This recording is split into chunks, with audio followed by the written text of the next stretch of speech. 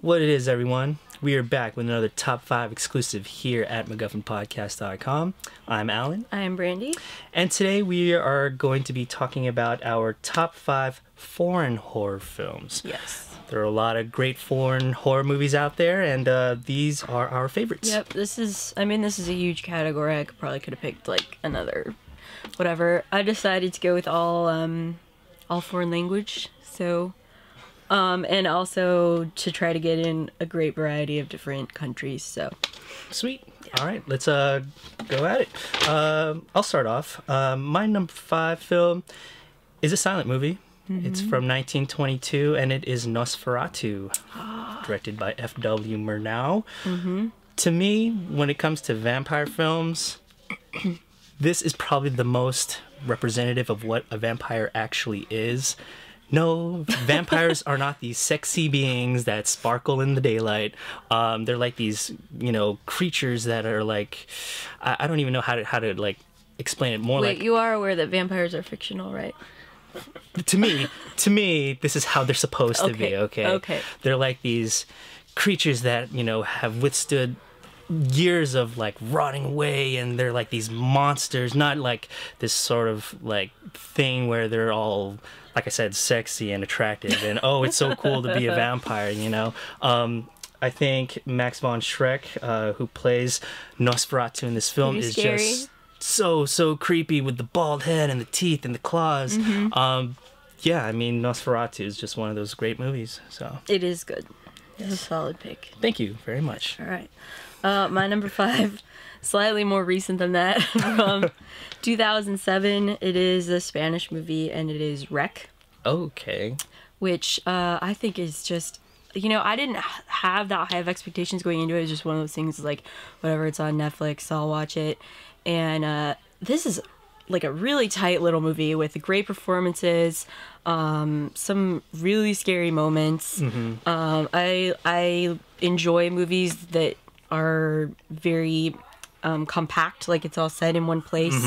Um, it's not partic- It's not. I don't know exactly how long it is, but it feels like very sh- very quick and um, I don't know. I haven't seen the sequel and I haven't seen the remake. I don't know if in, if those are any good, but the original is is great stuff. I think. That's interesting. Uh, I have seen the remake, and I've actually not seen the sequel, or uh, not seen the original. Um, I didn't really like the remake all that much. Um, I mean, I'll definitely check out the original and compare the two and see how they translate. Um, You should. Hopefully, it is better than than what I saw. I so. don't know. I think I think it's really good. So. All right. Uh, moving on to my number four film. It's from 1977. We're gonna talk a little bit about Japanese horror now. ah. My number four pick is House or Hausu. Oh, God, I didn't even think about this one, but This is a crazy freaking movie, people. Okay, if you haven't seen it, you need to stop watching this right now and see it so you can come back and understand what the heck we're talking about. I mean, it's like this whole hodgepodge of stuff all thrown into this movie. It's um I mean, it's you know a haunted house film. It's it's a slasher movie. It's like a romance film. I mean, there's everything in this that you want. You know, if you like silent film, there's a silent part in it. If you like animated films, there's an animated part in it.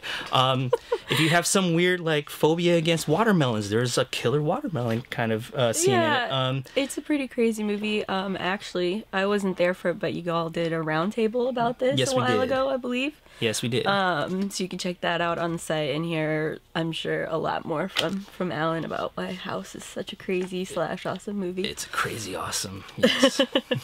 All right, well, my number four is also a Japanese movie. Hiyo. Um, has quite a reputation. I saw it recently for the first time and um, really loved it, and that is Audition from 1999. I'm not um, super versed in Takashi Miike's uh, filmography. He's extremely prolific, so I mean, you really have to you have to try to watch all of his movies if you want to. Um, but I I thought this was a great movie. You know, I was thinking um, I I'll brace myself. Like it's just gonna be like violence, violence, violence. It's not at all. Um, you know, the first hour and ten minutes of the movie is really just setting up the characters. There's some really sort of creepy stuff going on as far as um, not people being very oblivious to what another person's intentions are. Um, and the end of it is the final act, you know, is, is quite disturbing, but there's also a lot of stuff going on about like what is real, what isn't real, um, what what exactly is it that you're seeing? And a lot of films i feel like don't try to do this sort of weird ambiguity and creep you out and they don't pull it off at all. And this film i thought did an excellent job of that some really interesting themes I'm sorry to all the Takashi Miike fans.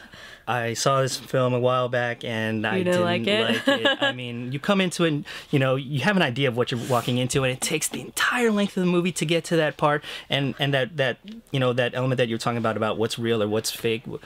It really like just didn't work for me. Really? Um, I don't know. i could see it not working for some people i, th- I thought it was great and i think there's some really interesting um, feminist themes going on that i don't know uh, I, I pondered for a while after seeing it so It made me ponder too, but probably not in the same way. uh, moving on to my number three film. Uh, it's from 1993. Guillermo del Toro. It is Cronos. Again, another sort of vampire slash zombie movie um, about this guy who discovers this device who gives that gives him sort of this everlasting life. Um, however, he sort of has to become like a vampire and drink blood to survive. Um, great cast. Uh, Federico, Luppi as, as the main character. Really interesting um, performance from him. Uh, Ron Perlman, of course, is pretty much awesome in, in everything that he does. Um, the makeup effects in this, um, I would like to compare it to to The Fly. You know, David Cronenberg's film. If you really dug the way you know Jeff Goldblum's body kind of like deteriorated, then you'll enjoy the way the main character in Cronos' body uh, kind of deteriorates. Um, the effects were great, um, and it was a really emotional story uh, about this guy and his kind of a the relationship that he has with his uh, grandchild. It's a really touching uh, dynamic there, all set within this crazy like horrorish drama that's going on. Um, definitely worth checking out uh, to see Del Toro's uh, work. You know, near the beginning of his career. So i've not seen it it's so definitely worth I checking want out. to. Yes. Okay.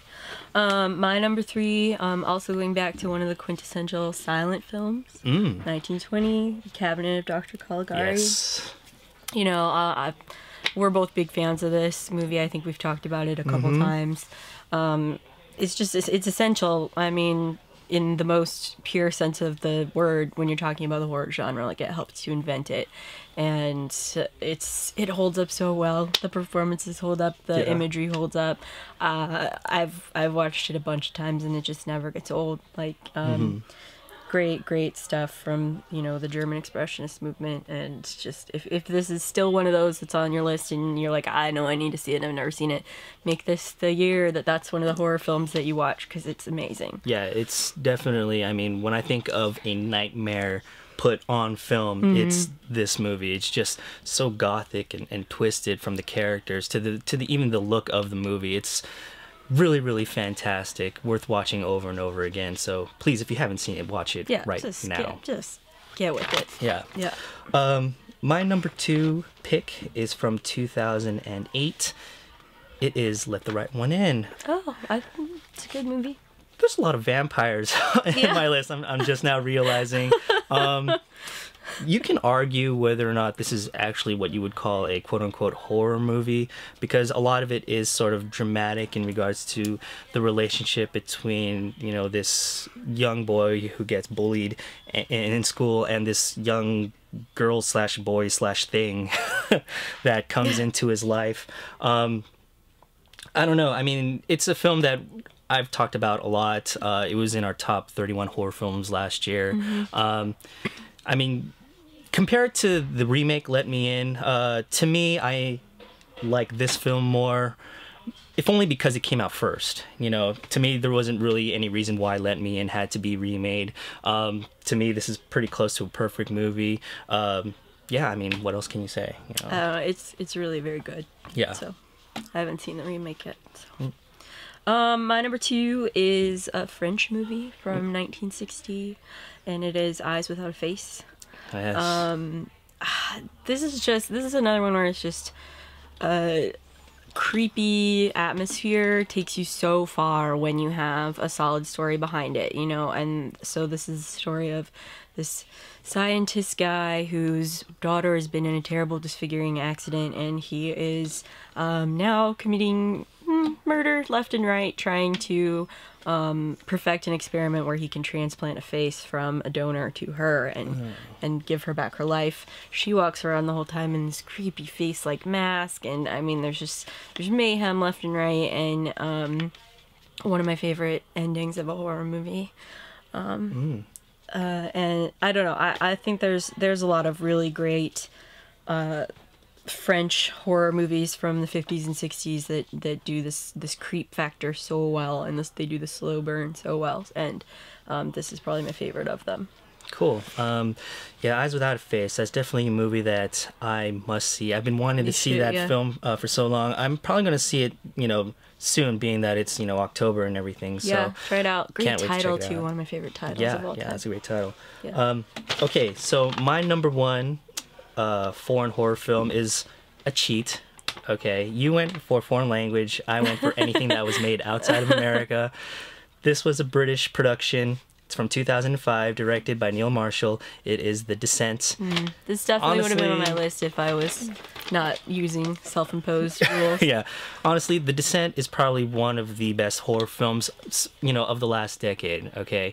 It's just i mean even like by the time that the characters get to the monsters we're already like on edge because we're seeing whether or not they'll actually survive being in the cave. Um, the characters are so well fleshed out. I mean each one of those uh, females in that movie each have their own motivations and the way they like sort of interact with each other i mean it amps up the tension. Um, god i mean i don't even know what else to say. I feel like this is one of those movies that everyone has already seen and already knows about. Um, i don't feel like i need to like advertise it anymore because it's like i'm preaching to the choir it's really know? good. Like it is just one of those movies where you think about it and you're like yeah I know, was it's awesome. like, it just makes you happy. Super awesome Okay. Uh, my number one is one that I I bring up amongst the MacGuffin a lot. The um, amongst us, I think, because I'm like the only person that's a really big Dario Argento fan on this podcast. And Suspiria is one of my favorite movies of all time, and I have to say it my favorite foreign language horror film. It's so weird. Um, it's one of those movies where I have to just like forgive the fact that the characters are all act- acting totally improbably. like they, you just wouldn't go down that hallway if you thought that there was a coven of witches at the end. yeah as far as atmosphere, as far as music, as far as imagery, um, I just think it's so fun. It's so fun to watch. Um, so just, I just encourage you if you if you're thinking it's too weird, if you're if you've seen some other Argento that didn't really speak to you, give it a shot. Just let go because I think like it really has some of the great kill sequences in mm-hmm. film too. So Yeah, I think I think Suspiria is definitely a film that I need to revisit. I mean, when I saw it, I was like, oh, okay, you know, I can see why people like this, but it didn't really like hit me in any kind of special way. But then when I think about it, you know, if I like a film like House, you know, House is so much so much Oh, even weirder. Yeah, Yeah, so much weirder than Yeah. Suspiria. I feel like if I go back, this will be like, oh, this is just like normal stuff. There's no craziness in this movie. Yeah, give it give it another try. Um, Yeah, I'll give it another shot for sure. Um, okay, so that does it for our top five foreign horror films. Um, I mean, there's a ton out there from all over the world. Yes. If any of you out there have any that you'd like to suggest, please let us know at MacGuffinPodcast.com, and we'll see you guys next time.